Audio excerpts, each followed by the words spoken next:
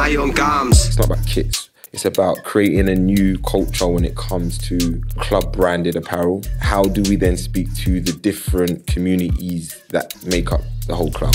It's the energy and charisma that comes out of South London that really builds us. We're like the loudest in the room. You know, you go somewhere, is there anyone from North, West, East? And as soon as you see South London, it's ah, it's crazy, right?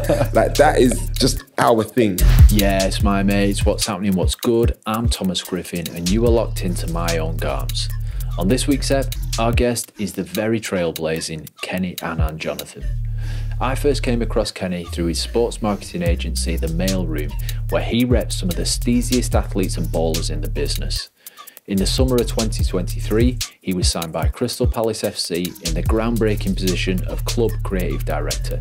He's held real varied positions at the intersection of sport and fashion, and we're going to dig down into all that stuff today. If you're new around here, then whilst you're watching, make sure you subscribe to the channel. We've got loads of ace episodes for you to go back and listen to, and plenty more to come in this series.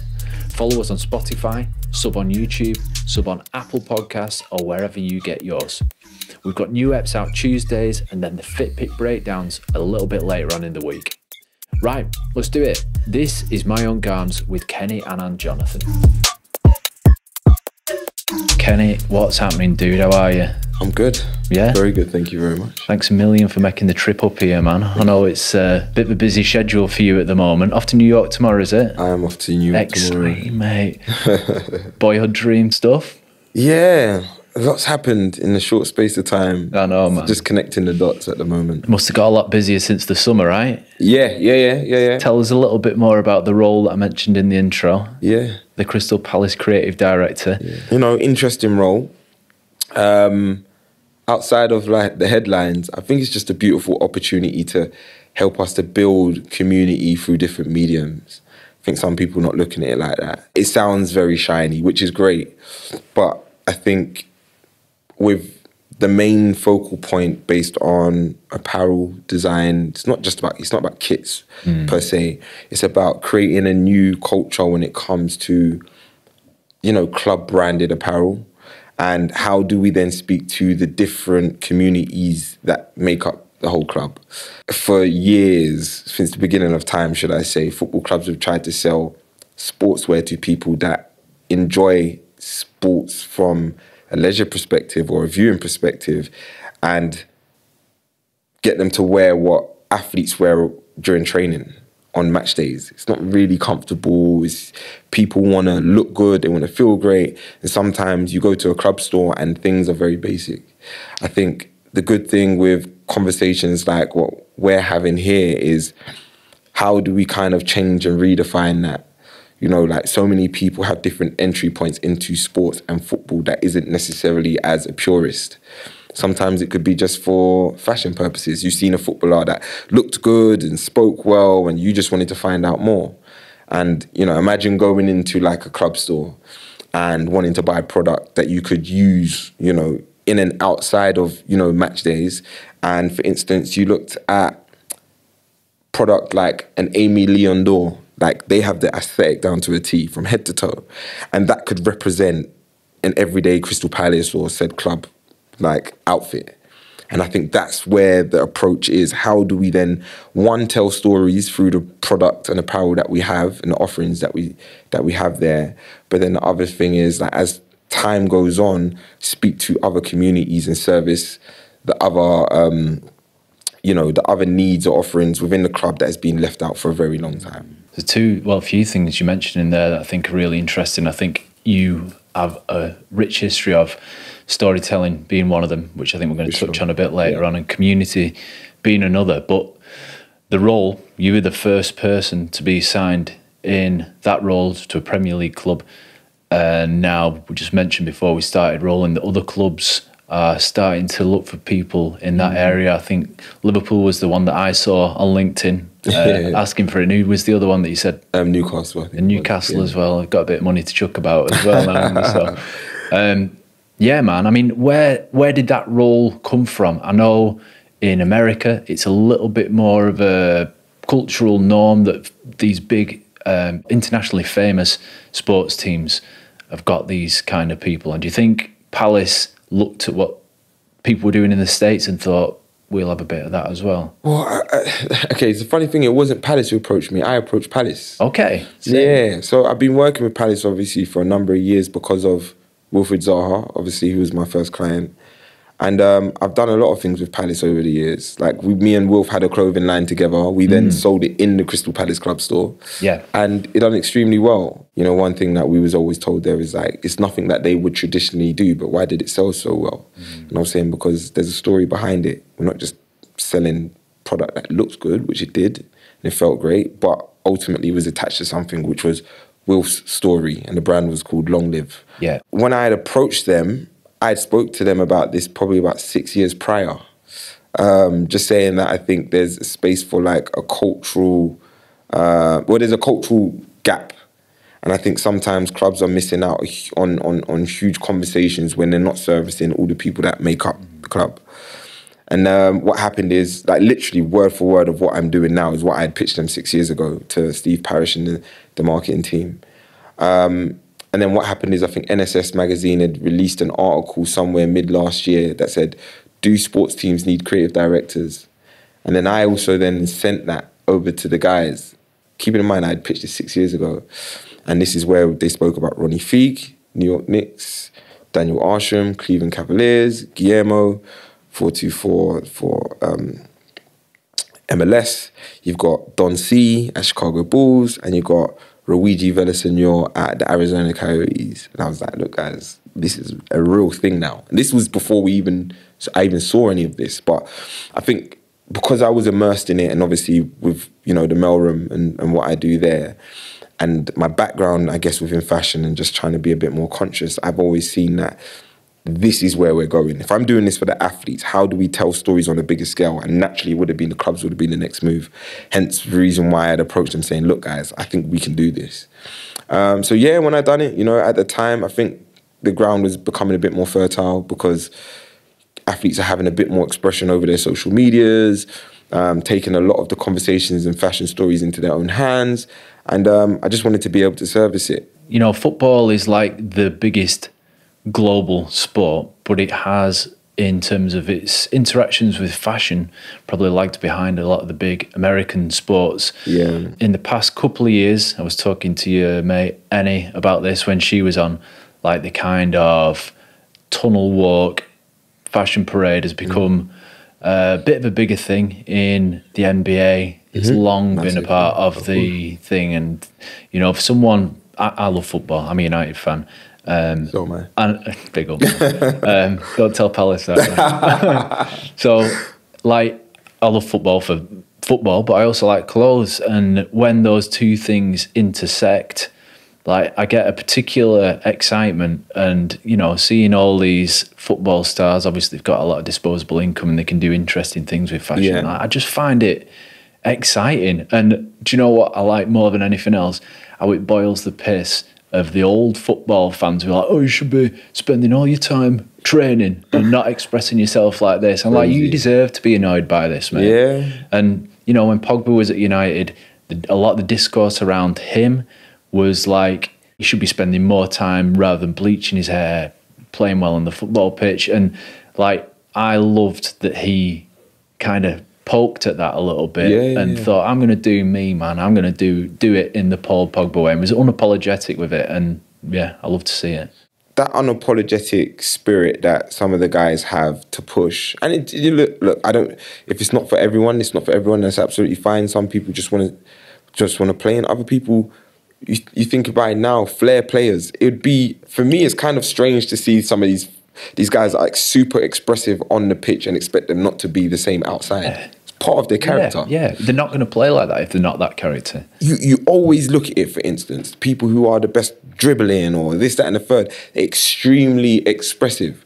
Take a Ronaldinho, for instance, Yeah. right? Just like on pitch tire, like the way he wore his shorts, headbands, this, that, like everything about it is expressive. Like you look at, I, I say something like, let's just use Wilfried Zaha, for instance, Yeah. and Paul Pogba. Guys that, you know, extremely good with their feet. They love to, you know, to, to put on the display when they when they play. Equally off the pitch, they are expressive and experimental with what they wear, where they go, and what they do. And I think that's dope. Like you look in the States, you know, there was the whole thing with like LeBron James when I think there was a reporter that told him to just shut up and dribble. And it became a whole thing. He built a whole business on the back end of that, which ended up being uninterrupted. And their strapline is more than an athlete, right? All of off of that shut up and dribble quote. But look how expressive he is. Like, mm. unfortunately, the tunnel walks for us not necessarily a thing, and you can see pla- other platforms now trying to, to, to, to, to, to kind of like curate their own ones. But also, I think that's some commercial stuff. I think when they're walking out, they actually legally have to wear their part like they're sponsored the, the brand Okay. sponsors Yeah, yeah. on there but i think there's other creative ways now that people are doing it before it just started off with wash bags Yeah. like the wash bag everyone had a wash bag it was either louis vuitton, Vuitton, it might be goyard Yeah, yeah. and you know now people are you know starting to try different things but then it was the headphones Mm. but man, I, I love people being able to express themselves. We can't sit here and expect peace, people to to just do nothing. You Yeah. even going to the women's game, like Megan Rapinoe. Do you know what I mean? Extremely expressive, Mm. and I love that Sam Kerr. Like all of these women that are just doing amazing things on and off the pitch. Yeah, man. We chatted briefly before about the Bex doc that we've everyone in the world's watched. Yeah. And how much of a game changer that was. Mm-hmm. And there's a line in that about I think is it is it might be Gary Neville saying like he was always flash. Like when he was getting a tenner a week, he was flash. Yeah. And that was his personality. And the way he expressed himself on and off the pitch was one, it was authentic, it was coherent with it. But I think Beckham is only in retrospect being given um, his flowers on that front, I think. And you, you said it best before, you know, Yeah. like no one's done it to that level yet. And it's nuts, man. Yeah, I think like we've had some great people. We have some great people, but someone to capitalize within football, like the way he has commercially on and off.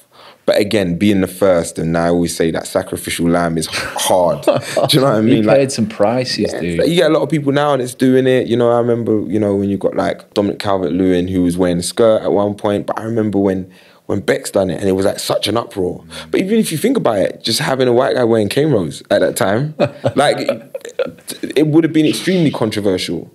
But he done it because of he found a way to express himself. And I think I love I love that, you know, again, we were speaking just before this and I was saying funny enough, yes, we have many different people that have expressed themselves through time.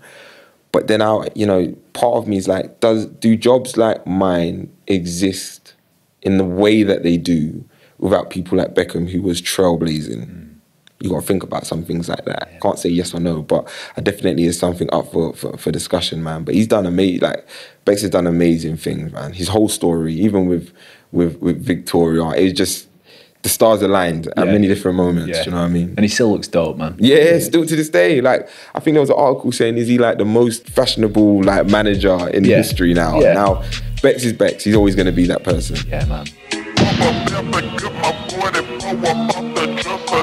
The job that you're in, Yep. obviously you came with a good pitch, an enticing pitch to them, but you're not going to walk into that without an impressive resume. Mm. So tell us a little bit about your work prior to the Palace job Mm-hmm. with sports and fashion. Oh man, it's such a big thing. It's massive, man. Uh, I have. Where should I start? So the Mailroom is an agency I founded. Yeah. um, which I always say it's a, it is a sports marketing agency, but I always say it's a bit of like a false narrative because my objective is really to push, you know, the human element of the athletes. You know, the analytics and numbers and great are great and they contribute to the work that I do, but it's more so about saying, okay, with the people that we represent, how do we find real dope ways to build their profiles outside of the sport? And that could go through philanthropic work that can go through you know media pr marketing exercises. We're looking at you know how do they control their own narrative of expression? Because for many years the mainstream media has handled it. And i don't it's done some great things but also some terrible things to people that are not deserving of it. So how do we continue to build your story and just really kind of drive you into traditional and non-traditional spaces? But just in a cool way like i think even when we look at the creative around sports, it is very the same. And now, you know, you're finding people when we're doing like storytelling that haven't come from a sporting space, like it becomes, you know, almost like cinematic like I think the best way to kind of express it. And I give you an example. Clint from Corteiz, for instance, when he had done his shoe with Nike and he had done the video with was who did he do it with? Was it Caravanga? Um, and it was like I can't remember. Like the way that that video was curated is nothing that traditional sports would have welcomed. But because he's not coming from that world, he's taken this whole artistic approach and brought it over into sports. And that's what I love. I think it's probably the same with myself. I come from a creative background. I've come here and I'm like, well, there's offerings that come natural to me, but are not natural within the space. How do we just really communicate that through the mediums that we have? And I think the people looking at it appreciate that authenticity. You can see it a mile off, you know. Mm. And I think uh, with the mailroom, it's like a quite boutique agency, Definitely, and you have a real solid relationship with the people that you do you do work with. Like Zaha is on your books, and you've known and worked with him for a long time, and only through that trust and understanding of each other's working practices can you present them in a super authentic way. I think that often gets lost when you get people, a creative team coming in and just trying to work with someone they don't particularly know. Yeah, uh, I think sometimes you, when you know someone, you know what makes them tick. You yeah. know what their do's and don'ts are. And okay. It's easy. You can see things face value, and some things are going to work. But I know, like even defining details. Okay, Wolf's not going to be interested in that. Mikel's mm. not going to be interested yeah. in that. Joshua Boakye's not going to be interested in that. And it's like, how do we? Then fine tune it and tailor it to something that they do that they are interested in but still keep the creative element to it. And I think that's where the trust comes in because these guys have been given media commitments all day long and it's extremely tiring. And sometimes if it doesn't work for them, they get put off because they're like, I've got to do another thing that I'm not interested in that doesn't work for me but helps the network. Yeah, yeah. How do we still make it cool and be in line with who you are and what your values are and not feel like oh, this is just work for me? Yeah. But you you enjoy the whole process of it, and I think yeah, that's just where we're at with it. Yeah, man. And even before the mailroom, you were heavily involved with the fashion world through yeah, yeah. brand creation. You meant you had the one that you worked on with Wilf, yeah, and you had your own brand. brand. Can yes. you tell us a little bit about that one? yeah, long. That was a long time ago. But yeah, yeah. I had um, a brand called Play Dot Apparel. Yeah, um, which I founded maybe like 2007. Mm. So it was like one of the like just like a streetwear brand from the UK was doing you know relatively well. We sold like you know um, like Harvey Nichols, Selfridges, and so and so. But I guess at that time coming up, I think our, peers within fashion would have been Trapstar and Benja, who are doing extremely yeah, yeah. well, and everyone knows how hard fashion is to do and keep be consistent with it. But um, yeah, that's what it was, and I think that helped me one to build relationships back then. Um, two to really exercise like my creative flow. I think sometimes, you know, when you're younger, you're just doing it because it's dope. You're not thinking about the business side of it. Yeah. Um, it's just something fun. Um, and then the other side is that, you know, I, yeah, I was doing a lot of creative projects for a lot of different people in different spaces. So just a lot of prominent names in and around London behind the scenes, whether it's brand design, product development, um, drop shipping, like literally anything that I could do to kind of you know get my creative like juices flowing. I I I'm, I'm, I was down for it, like hungry at that point. So it's funny for people that haven't seen me in a while, and obviously I stayed quiet behind the scenes. Is that people that know me from fashion do not know me from sports? I'm probably like one of those people that you say is like you wouldn't expect to be working in sports. Yeah, yeah. But the people that know me in sports don't necessarily know me for the fashion side. Okay, but it all so, makes sense when, yeah, you, when you put the two sides when you together. Put the two together, yeah. So like even the other day, I, I had a talk, and someone that I'd known for years, and they was like, "Okay, he's coming." He said he didn't put two and two together, and he was like, "Oh my gosh, I remember having a conversation with you when you was doing um, Play Dot." And I was like, yeah, years ago. And he's like, that's so crazy. Now it makes sense why this role makes so much sense. Yeah, man. Um, so yeah, that's the beautiful thing of it, man. Yeah, got a bit of skin in the game, man. But um, I've been working for a while, so. Rep your ends. You're based here in London. Yes. Whereabouts specifically did you grow up? Yeah. So I'm from Battersea. Okay. Clapham Junction. okay. a bit more specific. South London. South London, Southwest yeah. London, born and bred, man. What do you think sets South London apart stylistically from the other kind of north, south, east, west quadrants of the city? What do you see? Or what maybe what did you see here growing up that you might not have saw elsewhere? Yeah, that's so funny. So I think out of the other areas, Yeah.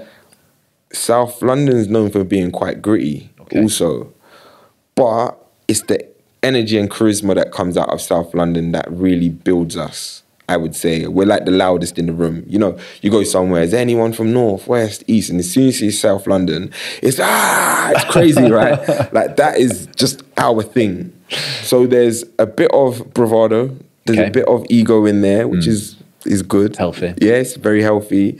Um, and competition. But for us, it's like we've always been very confident with who we are. Mm. Like being from South London, Southwest or Southeast, which, funny enough, have are two very different places actually when you look at it. Yeah. But um, we was actually more so known for our tracksuits, man, back in the days. That's all South Londoners wore. What were you rocking? Just like the standard like Nike tracksuits, the cotton ones, I remember.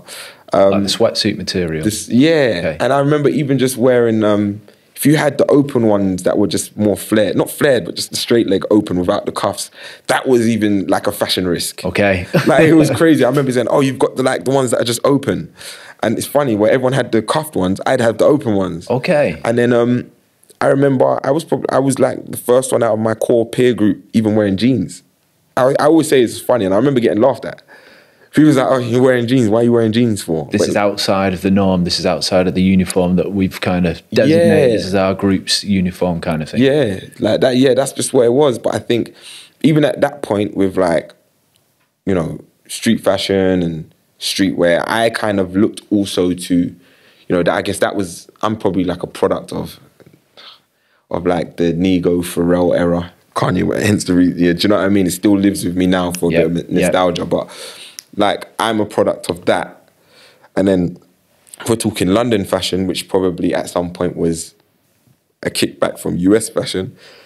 I remember seeing people like Dizzee Rascal in like Akademiks tracksuits in his music videos and thinking bombers, the yeah. With like you know Lethal B and the guys from East London. Then you have like again being from Battersea Clapham Junction, you had like So Solid crew from the same estate that I'm from, and you know Megaman wearing like the bowler hat, and they had their TTs again, the Avirex jackets, All black everything. all black everything. And it's like you just grow up and you can just kind of pick and make this kind of like Frankenstein Yeah, of yeah. like design, however you'd want to put it. But man, there was so many things. Yeah, So Solid's a weird one because obviously they got a little bit of money thrown at them, Mm-hmm. but they were obviously a, a, a well-established crew and they did things quite flamboyantly, didn't they? You know, the bowler hat was that- Yeah. That's more. I don't know, maybe like uh, dance hall influenced, where the kind of Yeah. show personship is encouraged a little bit more than you know the standard all black tracksuit or whatever. And because there was so many of them, like they looked so sick, Yeah. all in different Individually, yeah. cash with this white Oh, bandana gosh, and the white contacts. like so dope. Yeah, and, yeah, yeah. Um, uh, Uh, yeah, shout out them dudes. They were doing it interesting. No, I didn't know they were Battersea actually. So yeah, man. Battersea born and bred, man. Like majority of them, obviously, apart from Asher D, I believe he's from maybe Peckham or something. Yeah. But yeah, like I remember just growing up in the area, like and just being around the guys from from from young, and then just getting old enough where you can actually kind of have like personal relationships with them. Mm. So yeah, man, just a huge influence in the area. And actually, I, do you know what? I never really give him a shout out like this, right? But there was one guy from my area, he's an older guy. His name's Oni. And at the time, he was running a, a streetwear brand, more so about headwear called London City De facto. Okay. And he was like probably again, I think he kind of gets pushed under the radar, but like the headwear and what he was doing, you see like how New York has like the New York Yankees hat. Those LC hats at one point was like the crowns for London, like literally everywhere. And um, I'm pretty sure if you go back, you can see a lot of like in a lot of London like music videos. But he is someone again. When I was coming up and growing up, I remember like we're friends now, right? Um, I kind of see him as like an older brother. But when I, I remember just being young on my estate, and he would walk around with like the bag of hats, just trying to sell them for the day. And I remember one time walking into our local shop. That's when I didn't know him, and we started talking. He was like yo, what'd you do? I was like, oh, just trying to get into fashion, so and so and so. And he just gave me one of the hats. Sick. And you know, it's those kind of interactions as well where you're like, oh wow, someone's like showing love or respect from their hard work. But you never forget those interactions. For what I real, mean? man. And I mean, it must have been so inspiring for you uh, to see someone working that hard to get their own designs out there for you know for your for what you've gone on to do in your life. Um, talk to me a little bit more about this American influence and specifically the kind of like uh, BBC, Bape, Pharrell era. Yeah, yeah, yeah. So was that all coming from MTV? Was that coming from just the music you were listening to? Like, Yeah, I think a mixture of everything. I got an older sister who, who's a musician. My family's Okay. quite music orientated, and I think at that time when you look at that, it's not just about fashion. Well, I think one thing I appreciated about Pharrell and Nigo is more lifestyle. Yeah. So you know they can go from fashion to jewelry to music to physical activations to books to home decor. And you kind of like was brought into a whole world and ecosystem of like of offerings. And i think that's what was dope. And i think also where more so gangster rap at that time was like prominent. You had someone like pharrell who and kanye west for instance that was making music that transcended that and it allowed us that kind of sat on the cusp inner city london boys that are mm. around a lot of stuff but you felt a bit more accepted by that music because you necessarily wasn't involved in the other side. Yeah. So you could see someone like Kanye West who drops an album like College Dropout and it spoke to you because that's what you was going through at the time. And Yeah. you know what I'm saying? That you can still make it regardless of what was happening in, in, in school and college. Or a Pharrell who was like the cool kid that but was still hung around with all like the gangsters and the, you know, the other musicians. Yeah. And I kind of sat somewhere within that space. Yeah, yeah. Do you know what I mean? Like the clothes that they wore with Ba- Billionaire Boys Club and Ice Cream was all about expression. And um, yeah, and he skateboarded. Yeah, you know I mean? That's another So thing. Like, cool. there- there's so many like anomalies in there, like you Yeah. can just pick out. But like black guy skateboarding with all these colors.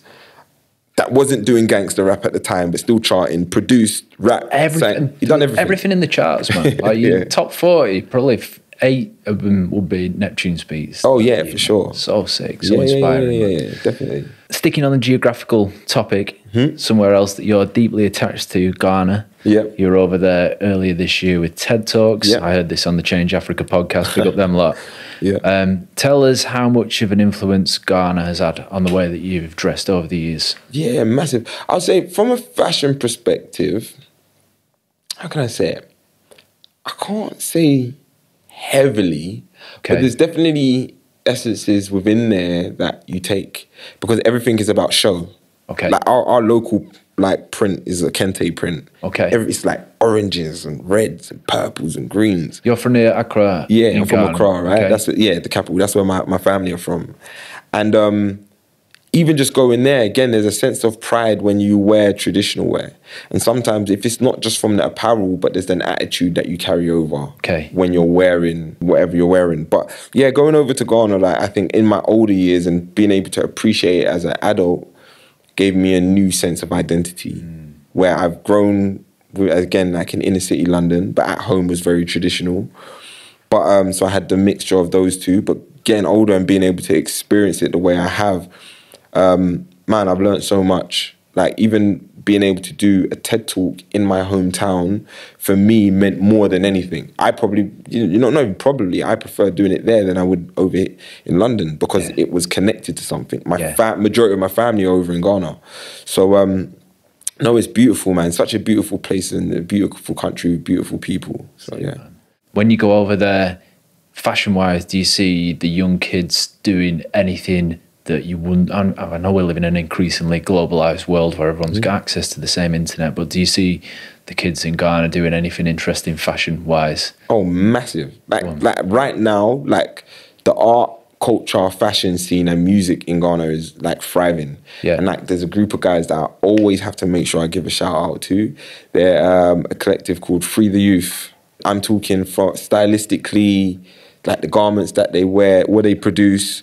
Um, they're involved in so much, and actually, currently now they are over in. Um, they're flying over to LA for Complex Con to, Okay. to to release a new collection. But they would be like the equivalent of like the Trap Star in London or the Daily Paper in Amsterdam, and they're all friends actually. So, Yeah. you know, when Virgil was alive, like you know, rest in peace, he would link up with them a lot. Um, you know, done certain collections with them. They've got collaborations with brands like Awake, but like really dope. And for me, they're driving like fashion culture, street culture over in Ghana. And it, it feels like the early days of streetwear when you're there. It's not like tied in with too much high end fashion. It feels like when people used to line up Yeah. for, you know, like the pop ups like Reset at Nike and so and so. They, they, they're carrying that element and I love it. Ace man, I've heard you talk about making when you started your brand, uh, your, your clothing brand. You were making things for your friends, hyper local, and mm-hmm. just for us lot. Mm-hmm. And the fact that it grew to something more national, mm-hmm. international, like when you see kids doing something where it is hyper local and it's not got that influence, it must be. Uh, I don't know, make you feel proud, I guess, like because that's what you were doing 15 years ago, or Yeah, something like that, man. Yeah, Nice. That's not me. The confidence that you speak with and the way you express your ideas seems really kind of coherent and together and assured. And the way that you express yourself through clothes seems similarly together. But was there ever a fashion period in your life that you look back at and think, nah, that's not me? Skinny jeans. Okay. How skinny are we talking? Spray on stuff? Yeah, no, I never done that. But I will, I will wore skinny jeans, which is fine. But man, they're just really uncomfortable. Yeah. Yeah, and I remember just being like, I can't go any bigger than this, and now I'm like, I can't go any smaller than this. it's crazy how it works, right? Um, another thing that was funny, the era of, remember when everyone was wearing like chinos and, Mm. and Nike blazers? Okay. Well, I love a blazer, man. I think Yeah, my, my, one of I my first ever trainers, Yeah. trainers was a blazer, but yeah, Yeah. with the chino, it's kind of pre- preppy look, man. Yeah, it was a very preppy look. The preppy look's not necessarily my thing, but again, maybe like Kanye West, you Yeah. know, like inspired and Lupe Fiasco. Okay. Kind of like that era. Yeah, Do you yeah, know what yeah. I mean? Or Kid Cudi, like that was their thing. Yeah, lots of beads. I mean, you're ro- rocking the subtle beadage today, but no beads played a big role these- in your this- outfits. my daughter made this for me actually, cute. so I rock it wherever I go. It's got my Oh name on it. man, yeah, yeah. Were beads a big part of your fashion choices back in the day? Yeah. Oh gosh, man. Yeah. It just it's funny because probably have beads because you can't afford a chain. yeah, yeah. And it's an alternative that makes you look understated but still has the design value of Hmm. you know another accessory. So yeah, it was just something to do. And I remember at the time when I don't remember like the wooden Jesus pieces were in again probably another Kanye West thing. yeah, yeah, But yeah, like the wooden Jesus pieces were like a huge thing and with the beads on them. So yeah, man. yeah. Look, I guess it's again bridging that gap. If you, if you can't afford the gold chain, then it's doing that Kanye Pharrell thing that you're bridging that gap between. An the kind alternative, right? Yeah, Yeah, yeah, of course. yeah. Make it look fly. Um, just tell me a bit more about the Mailroom. You Mm-hmm. mentioned a couple of names. Um, Joshua Buatsi, the boxer. Mm-hmm. Uh, you work with Wilf. Um, tell me a bit about some of the other people because the Mailroom looks like a, a really direct bridge between the fashion world and the sports world to me. Mm-hmm. Yeah. Um, and maybe focus a little bit on the storytelling aspect because I know that's something that's particularly yeah. um, relevant to you. No, okay, cool. Well, with the mailroom, like I said, storytelling, big Yeah. part of it. But like, you know, there's some real like dynamic cultural elements to the people that we work with, strategic. Sometimes we do have like certain quotas that we want to hit when we're working with our clients, but sometimes it's just off a feeling. Mm. You know, we don't need someone who's on in, in, in the top six banging, you know, 20, 30 goals a season. Sometimes it might be someone who who's not, but they've got a really cool story Yeah. a great look about them and they understand that you know there's an element to them that they, that they could go somewhere else and I think one of those people is a perfect example is someone like Yan Valery who was at Southampton Okay. you know dressed extremely well was playing he was um, a right back um, he's now playing for Angers at the moment we're a multi-sports agency so it's not I know football gets picked up a lot because it's you know it's, it's the big sport here but you know boxing Joshua Buatsi again extremely like talented boxer who came from the Olympics and is doing amazing things. But great story. Um, you look at the likes of um, Michail Antonio, as I said, Wilfried Zaha. Um, we've worked with the likes of Leon Bailey um, in the past as well. We look after Danielle Carter. And now really within like athletic spaces, Yeah, yeah. Ojie Edoburun, very interesting in, individual who is an amazing track athlete for 100 meters, uh, run for Team GB, and Daryll Neita, who's Yeah. again like phenomenal. Um, she done a shoot. One of my favorite shoots is she done a. Uh, we done a shoot for Circle Zero Eight And listen, the cover for it was amazing, like amazing. Like uh, her partner, she's an Adidas athlete, Yeah. but she was wearing Dolce and Gabbana in it as well. But like how that shot came out was amazing, and we just love that. It's just that people that understand. Look, I believe I have more here. How can you help me to unlock it? Yeah. Do you know what I mean? We don't want to just work with everyone for the sake of working with everyone. Um, we want people that understand the value in what we do. Do you know what I mean? And um, we work together because we understand that you know there's there's benefits of us on both ends. And I think that's just the beautiful thing about it. The Mailroom is just about delivering a service, and that's it. Point blank. Period. I mean, it must be super exciting for you as someone that likes to tell stories and be creative to have these. I mean, boxing fandom is quite a different fandom hmm. and culture to athletics, and to hmm. have all these different mediums for you to tell these stories through must be. Hmm. I don't know. If you worked for just a football agency, obviously you've got people with different stories, Yeah. but all these different um, sports, it must yeah must make you want to get up each morning and do something exciting. Yeah, because life just changes so fast. Yeah. And I think that's the good thing about it.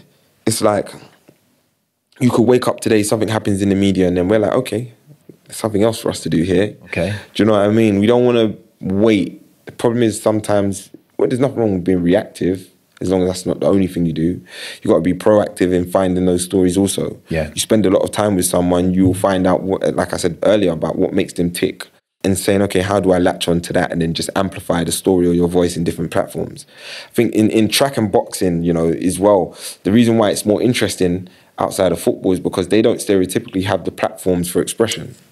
You know, we don't in, in- here in London or the UK, we don't have a lot of like multi-sports platforms that allow athletes to express themselves um, from a more creative standpoint. You can go over to football and be in like a soccer Bible or a Gaffer magazine.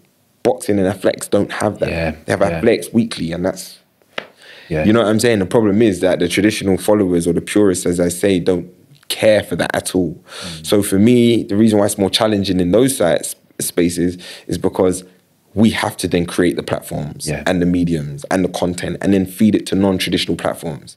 Right now, probably most people only know Dina Asher Smith. But you can't know Dina without knowing Daryll. But commercially, Dina has, you know, a lane that's carved out for her. With Daryll, who again equally is like up there as joint within our country's, you know, top sprinters, like Yeah. close one to two with with Dina, especially over the last year or two. Yeah. But when we want to tell her stories, we can't go to none of the traditional platforms. So do you know what we do? We find artistic ways to tell her stories through fashion, her family, and and and and, and with sports in it. And we might take it to a Wonderland magazine. Yeah. We might take it to a Dazed. Yeah. And we tell those stories on those platforms also. So it's a challenge, man, but a good challenge that we're up for. Do you know what I think would be a good way for her to tell a story? Talk to me. Get on uh, a podcast such as My Own Garms. with them to- That's the next one then, up, right? man. There we go. Listen, it's already done. All right. It's already Look forward done. to it. Yeah. Top three selected. In the first series, we had any pick her top three best dressed footballers. Hmm. As we've established, you work with a lot of footballers, but also boxers, track athletes, Mm-hmm. field athlete, track and field athletes. I want a top three steeziest sports stars, any sport. Any sport. Okay, so Stefon Diggs or Stefon Diggs. Tell me a little bit more about Stefon Diggs. I don't know Stefon Diggs. Okay, so he's, a, he's, he's an NFL player. Okay. But um, again, just has a very unique sense of style. Okay. Um, and do you think uniqueness is the thing that you that you particularly yourself like to see? Yeah, because it's like I said, fashion is one thing. How you carry it is another. Yeah. Like Yeah. how what like how you wear your clothes. As I said, you can get the same outfit on three different people Yeah, and it's worn three different ways. And I think when I see him down to like he's very expressive, like or or, or very risky, should I say? Okay. So sometimes when he wears certain things with like like like cropped like tees with like oversized like denim trousers and you know the color tones and accessories that he has the brands again outside of traditional. And there's nothing wrong with him again with the chrome hearts. He might go one above and you would see okay oh he's he's he, gets it because he's gone for that. Why has he gone for that? Like why has he gone for that brand? He's he's he's really thinking about what he puts Yeah, on. yeah. The other one I said was Timothy Weah Okay. Son of George, the great George Weah. Yes, exactly. Um, plays for USA and I might be at Juventus as well. You know, Okay. but like I think he's um again amazing very expressive, and he raps too, which is yeah, sick. yeah. He raps like, but I, again, I just love like the confidence in how he carries himself. That's Yeah. just the real thing for me. Yeah. like wearing clothes is one thing, the attitude and persona behind it is a whole different ball game. Yeah, yeah. So he's an, he's another one for me. I love. I- mean, yeah, athletes that are doing something different off the pitch, whether it be rapping. Mm-hmm. Uh, you know, we saw Memphis doing his. Right, he's, yeah. he's got tunes out at the moment. Dresses 100%. flamboyant. So Yeah. he- he's doing these things on the pitch that are flamboyant and uh, incredible to watch and entertaining. What do we watch sport for? Entertainment, Mm-hmm. Yeah. you know. And then off the pitch, it all adds up. It's all part of the same whole, I think. Yeah. And I admire that in athletes. I think Yeah, as well. It sounds like the two that you've picked out so far embody that to a certain extent. Now the other one's tricky for me, but I've got to give it to my guy actually because I was gonna say Moise Kean, and he's dope by the way. Okay. but I've got to give it to Zaha. Yeah, man. Yeah, I have to. Like I was thinking, what am I doing? Like I have to. And the reason why I say that, maybe because I have the you know the honor of being around him and understanding him, right? Wilf would put on something. you'd be like, "What is that?" And he'd be like, "I don't know. I bought on ASOS." Like, do you know what I mean? Has It's no like- boundaries. It's not, yeah, looks it's not just yeah. about you know the brands, and of course we love brands, and because you know they they put more time and effort into like shape, size, silhouettes, and so on. But but man, like Wilf can put together an outfit effortlessly. Yeah. Like genuine, I've seen this guy fling on stuff, and I'll be like, "How have you made it look that good?" Like he he just looks so comfortable in what he wears because he knows himself, Mm.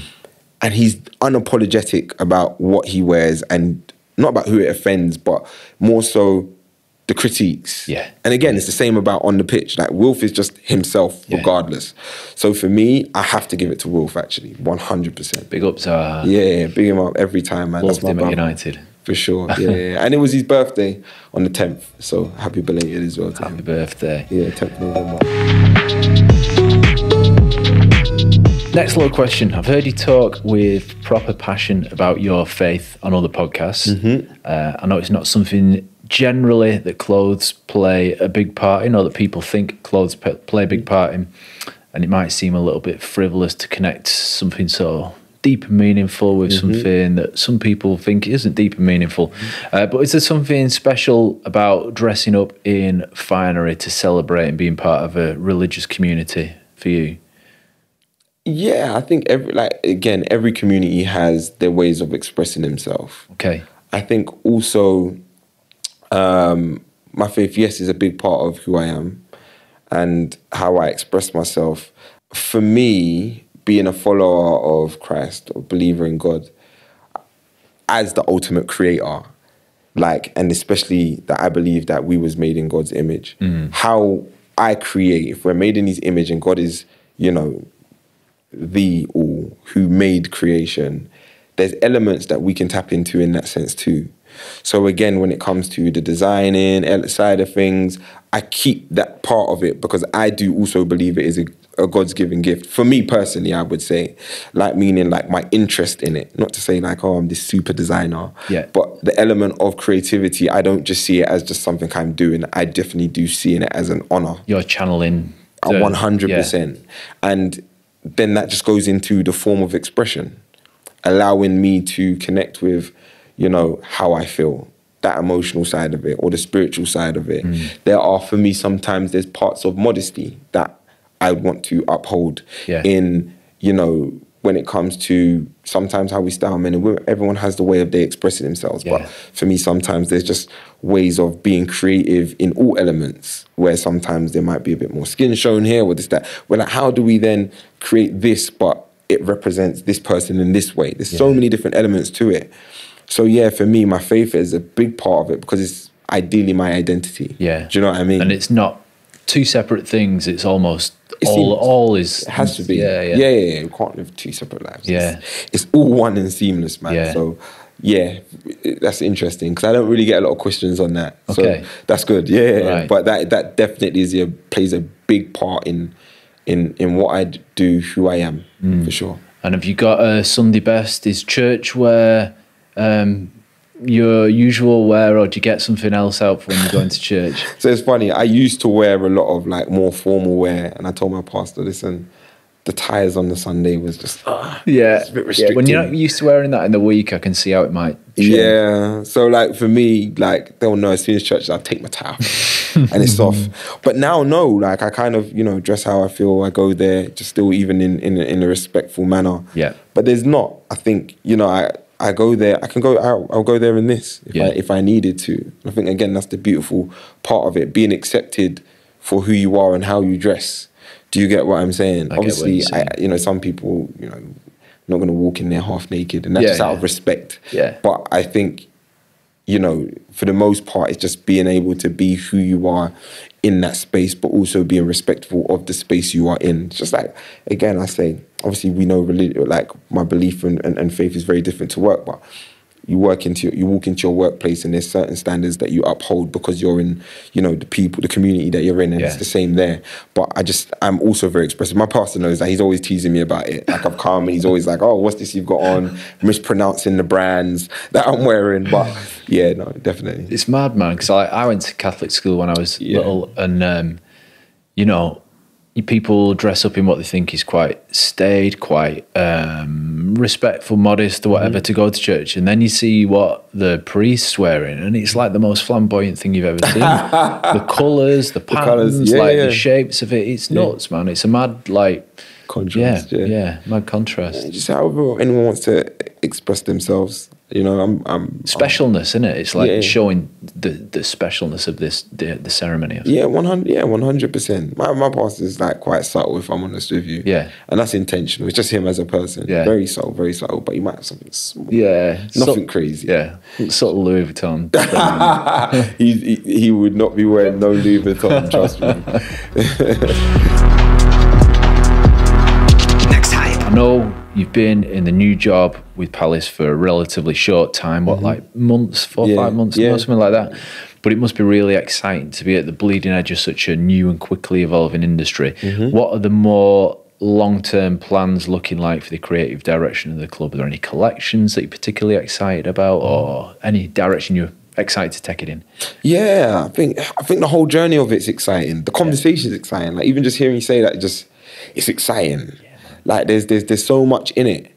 Um, we have been working on a few things, and I think sometimes everyone, you know, when these appointments are made, everyone looks for who are they going to be collaborating with next? Is it going to be Louis Vuitton? Is it going to be Hugo Boss? And I'm just like, sometimes it's not just about that. I think the exciting project for me is how do we redefine what is sold in the club store? Okay. And that's just down to shapes and silhouettes. Yeah. That could be down to going from like, you know, the traditional tech fit tracksuits to something a bit more loose fitting, Yeah. a bit more draping. Flat. There we go. do you know what I mean? It's like, how do we then redefine that, but make those staples within the club store? Like, and I think that is the beauty of it. And then telling the stories behind it. You know, again, I you know just go back to Ronnie Fieg and Kith. They just released the collection, and it was dope uh, for New York. And what he done is he got all of the, you know, for for the shoot, he got like New York legends, like in all of their areas wearing apparel and then he had this dope pop-up store in in the stadium. They had like a full range of like a, a kids collection. I think this is just the beautiful part of it. Because i think the good thing about you know sometimes people have come from more of this design background they understand how to utilize community through the apparel. Okay. i think that's just the same thing that i just want to implement here at crystal palace. It's just about speaking to starting off with inner city london and how do we communicate again as i said with you know the many people and voices that make up the club mm. i think one thing that's kind of untapped is especially being a south london team Yeah. their tagline is south london and proud Okay. do you know what I mean? Yeah, man. So there's beautiful elements to that that we can and should be utilizing. So I think ultimately it's just about saying, okay, listen, let's just do some dope stuff.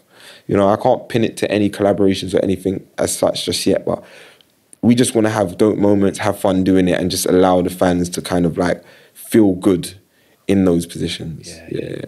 making that store an exciting place to be. You know, I remember going to the mega store at United when I was little and buying the little kits that you'd hang in your car rear view mirror and Yeah. that kind of stuff. But it just looked like a JJB inside, you know, it was just Yeah. Steel racks, whatever. But um, you know, someone that's got an eye for what an exciting store looks like and feels like when you Yep. go in it like you, you know, you were those pop up stores that you experienced through your own brand and through the brands around you. Yeah. When, you know, creating that excitement in there, I can see how that Yeah. would uh, be next on the cards. Mm.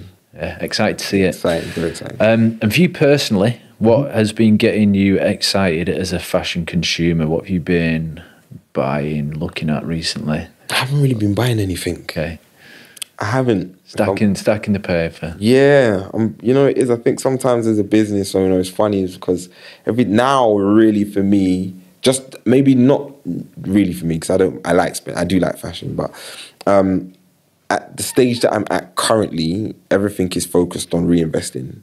So when I look at, you know, the mailroom is still self funded. Um, so that New York trip wasn't paid by, for by anyone. so um, for me, I'm re- I'm just at a stage where I'm just reinvesting everything Yeah. that I have. But outside of that, if I'm honest with you, what's exciting me?